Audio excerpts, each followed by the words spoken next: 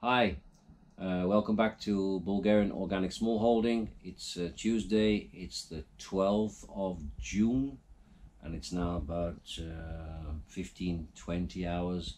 Just to update uh, today on the four porkers, the pigs. Um, I'm filming up here in my uh, terrace at the moment, upon my terrace, because I don't want to disturb them. I want to try and creep up on them, and um, they're somewhere down there in the jungle. Uh, but when I call for them with their food, they should come running. I'm not sure from which direction. And uh, so I'm going to switch over the camera to the chest rig. Uh, so I'm hands free because I have buckets of food to take down there. And we'll have a look at the porkers. Over and out for now.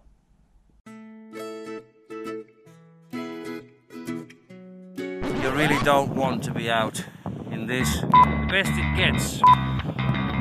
Only mad dogs and Englishmen go out in the midday sun. Hello, get your bloody nose off the lens. Yeah, it's uh, Saturday 26th. Saturday? No, it's Monday. I think we'll start that one again.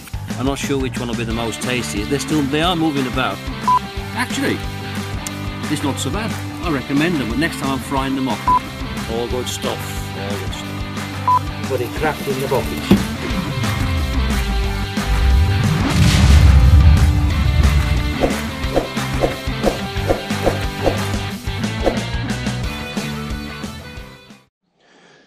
Okay, I'm in the shade of the walnut tree and uh, down in that direction, what they call the dere, the gully I mentioned many times before. It's all now under electric fencing, and down in the jungle there somewhere are our four porkers, piggy porkers. They'll be wallowing or foraging, I have no idea. And my mission now is to go here to where my um, borehole is and uh, mix their porridge. But they got a treat today because they've got that's my beer, but they got cherries and bread because the cherries unfortunately are starting to go off, so it's best the pigs get them. The sheep also like the cherries, but the pigs more so, I think. So I basically have a system here of numerous buckets. At the moment I'm using this here rubber bucket and I'll turn the water on down here for the hose. I'll half fill this bucket. It's already been cleaned out.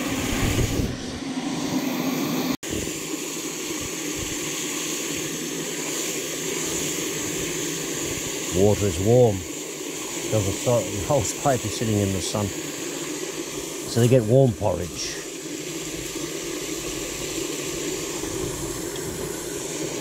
Okay, it's probably about enough water. I can always add a bit more.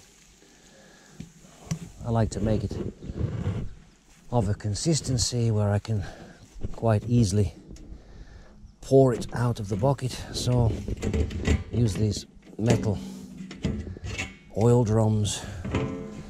These actually had contained apple juice before, and a couple of big scoops of this into yonder bucket.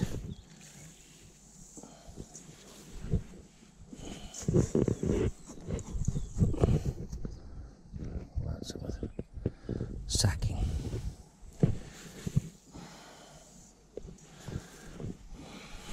Close this up. This keeps vermin out, such as rats and mice and what have you. We try to be quiet so they're not all waiting for me down there, oink oinking and trying to get the bucket out of my hands. So I just use this ordinary stick, give it a poke. Now, Just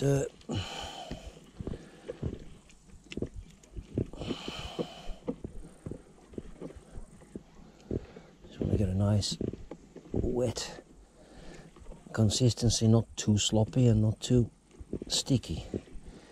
I'm not plastering walls with it. because you'll see when I get down below why I want to be able to pour it easily into the trough. Yeah, it's thickening up nicely now. Makes a good mealy porridge. Give that a tap. Okay. Got to walk a fair little bit down there, so let's arm myself with my rubber gloves. And let's grab yay buckets. One, wow, it's a few kilos that. And the leftovers and cherries and my beer. And head downwards to the jungle.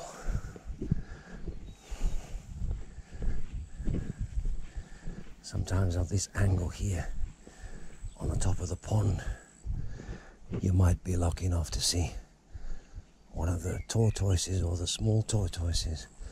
They like to sit on the extraction pipe.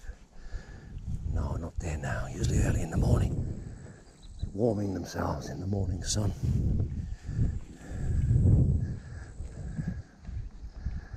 Coming down towards our back to Eden garden, which I'm still working on clips for. I'm talking quietly, deliberately, because I don't want them to come charging yet. More on that later. So, making our way towards the electric fencing, and believe me, it does give a jolt. I'm to remove the top two strands and straddle it, and you really need to make sure it doesn't make contact with what's between your legs because it'll make your eyes water. Okay, pockets in position. Top one off.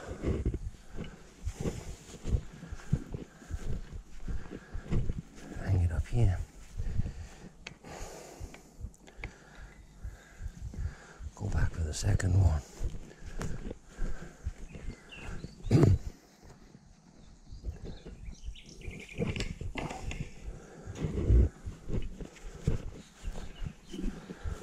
suspend that on this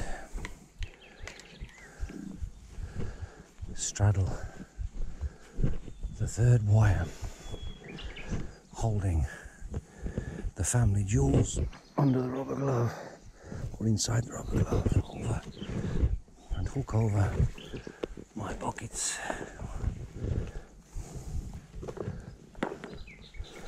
without touching electric fence. Oh, your mother. And head off towards their trough. Okay, I don't have a proper commercial trough. I only have this old half cut tire It's probably older than a lot of people that watch these videos. But that's what it was used for. And now We'll just spread out the, the slop, the porridge around it. Oh,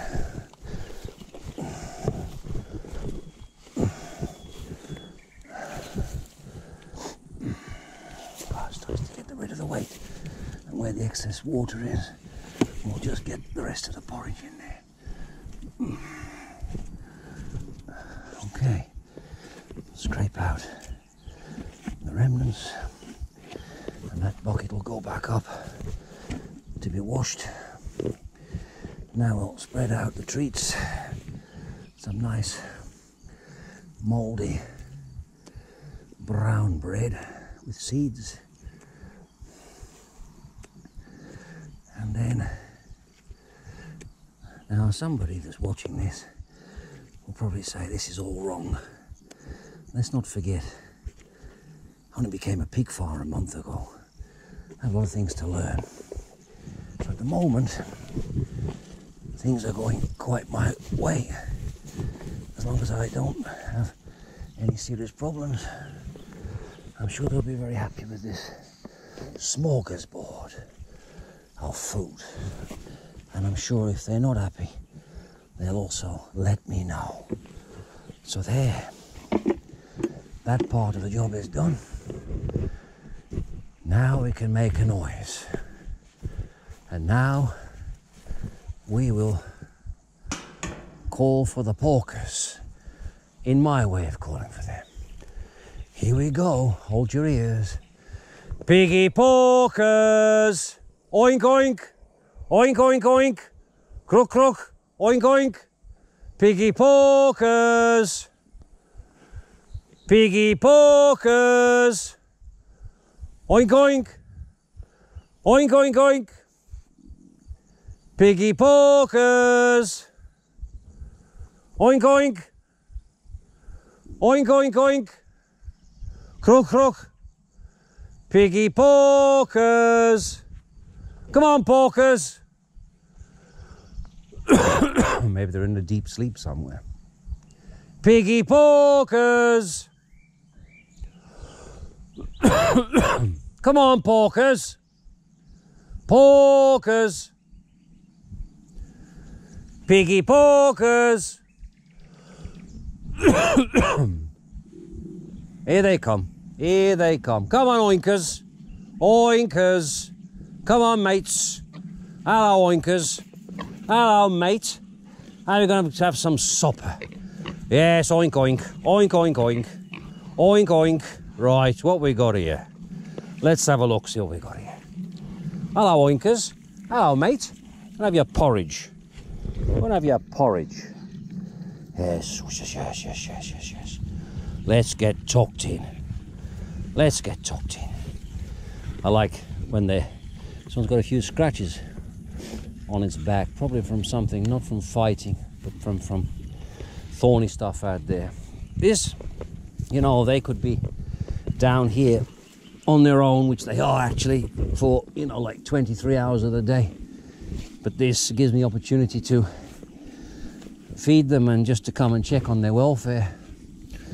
Okay, if they get caught up in something, sorry, bit of just readjustment of the of the chest rig. They will squeal like pigs, and the dogs will start to bark, and I'll know there's something I need to investigate. But they're really enjoying themselves down here. They've got over an acre of jungle to roam around in. They have a fresh running stream through it, so there's no need for to supply them with water.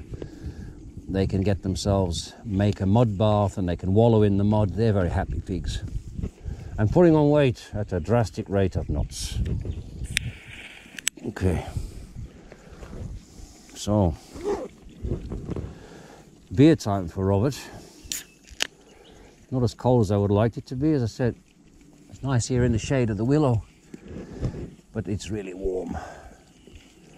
In the mid 30s in my uh, gazebo because it's got plastic sheeting on it and it's like 40 degrees on the thermometers facing the west.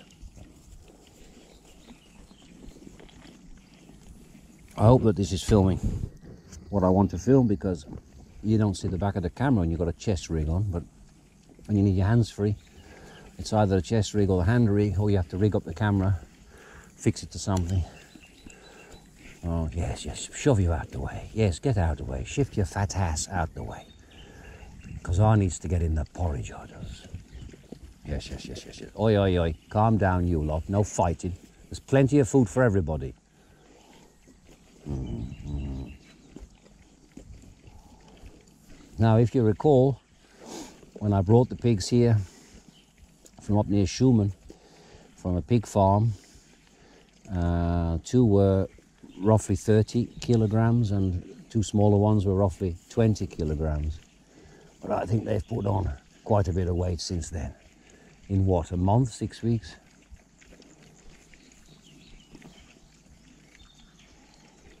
Hmm, I just saw a big horse fly on that. I hate horse flies, you know. Ah, never mind. Calm down, calm down, calm down. It's only a horse fly. I know it's painful when they bite. I know. I know. I don't like them either. Mm, maybe I should have pulled them in the shade. Yeah. My part of Bulgaria is full of biting things at the moment.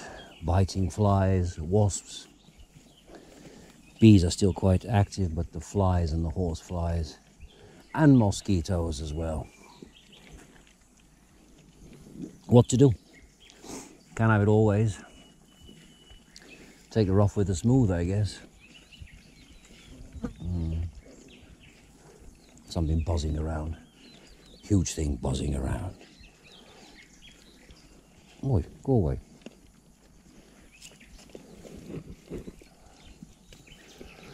It's nice to watch somebody enjoying their food, eh? This is what's not commonly known as pigging out. Yes, we're pigging out. What else is on the menu? And we likes these cherries. We'll have more of them next time. And some apples and some carrots. Not too keen on them onions he brought down, but you never know. You can have a snack at night. An onion bhaji, that's what we need. Mm. Chica, chica. Yes, a bit of sorting out the real estate. There isn't much manners at this table.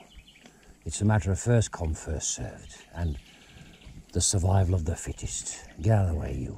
You're standing in my cherries.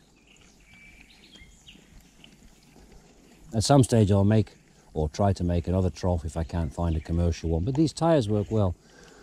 Only we tried to do one ourselves and it didn't work because I understood you have to cut the whole beading out to be able to open it. This tyre has been cut the opposite way. It was obviously a very large tyre from a tractor or a lorry.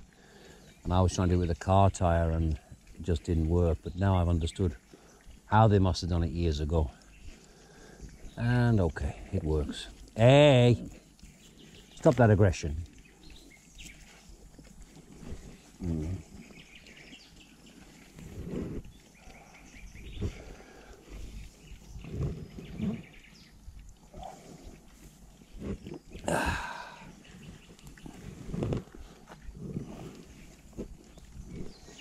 And they'll eat their food and then they'll disappear off back into their jungle. They don't stay in their house now, as far as I'm aware. They go out there somewhere. I don't exactly know where they go.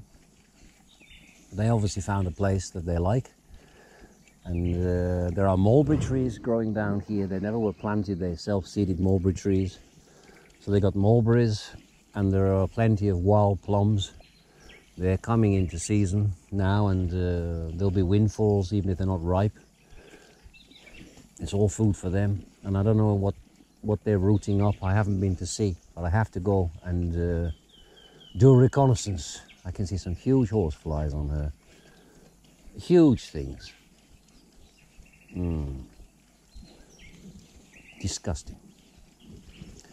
And probably another reason why they coat themselves in mud, not just to protect themselves from the sun, or to protect themselves from biting things, or try to protect themselves. Because sometimes they come and they're completely pink, they've had a bath. But most of the time now in this heat, they're coming covered in mud. It's interesting how they instinct tells them to do these things, how they work it out, you know, it's just instinct that they know. Give them a wallow hole and oh yeah, yeah, this is what we need to do. Go in there, roll about and coat ourselves in mud. Cools us down and helps to protect us from the sun's rays.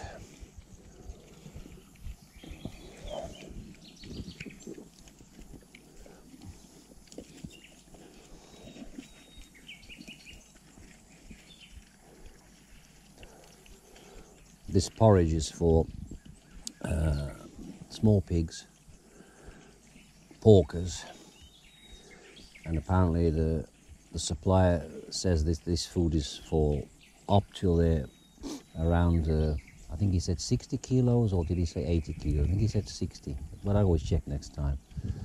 And then they go to, on, on to a different type of porridge, and adult food. We still got to work with their winter food. We have uh, 11 decare of wheat grain that will be harvested shortly. We've got to find a way to store that. Uh, we don't have any beet or any description this year. So, we'll have a lot of uh, lucerne and we'll have hay and we'll have um, a few tons of uh, wheat grain.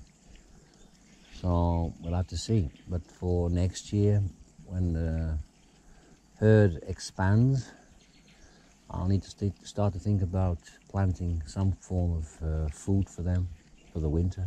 beet, corn, I'm not sure what. I'll find out from you guys on the internet who have got much more experience of rearing pigs than I do. But live and learn, huh? Live and learn. So I think that's it. There'll probably be another 10 minutes or more before they finish that. Then they might come over to say hello. Are you going to come and say hello? No, no. Just checking you're still here, that's all. I don't always sit here and watch them. I just, you know, as I say, as long as I know that all four turn up, nobody's limping, no signs of any illness, cuts, serious damage, then, you know, they do their own thing and they're quite happy. They know that I'm no threat to them. I don't feel that they're a threat to me. Although they can bite, they don't do it kind of maliciously. It's just they're trying to get the grain if you drop some down your leg or something. So there you go. Okay, let's leave it at that for now. I'll sit here for a little while, finish this nice can of dark beer, and uh, if there's something interesting, I can always uh, switch the camera back on again if the battery doesn't run out. So, from me, the four piggies from Bulgarian Organic Small Holding. Hope it's not too boring for you. Please uh, press that subscribe button in the corner and press on that bell for notifications because I do need your subscriptions. As I often say, and I repeat myself, it's really the only motivation for making these films. Otherwise, what's the point? Just self gratification? Okay, enough ranting. Over and out for now.